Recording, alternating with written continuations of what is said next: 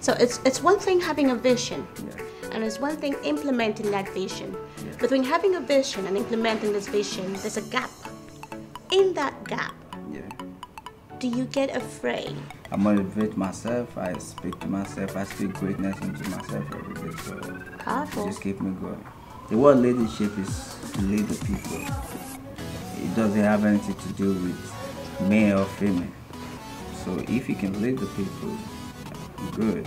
I think that when people come over here, the first thing to do in America is cultivate openness. Because you know, in uh-huh. Africa, we were taught to be closed.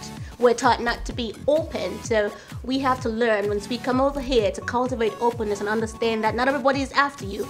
People actually want to synergize with you and do something positive with what you're doing. So that's great. It's a different place. So Lagos choose you. You don't choose Lagos. so I want to use my gift to tell a story from where I belong and where I come from.